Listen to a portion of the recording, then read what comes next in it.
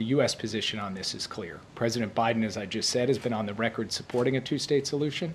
He has been equally emphatic on the record that that two state solution should be brought about through direct negotiations through the parties, not through unilateral recognition. That's a principled position that we have held on a consistent basis. We'll communicate that to our partners around the world, and we'll see what unfolds. I'm working to make sure we finally get a two state solution, the only solution, for two people to live in peace security, and dignity. This is one of the hardest, most complicated problems in the world, and there's nothing easy about it.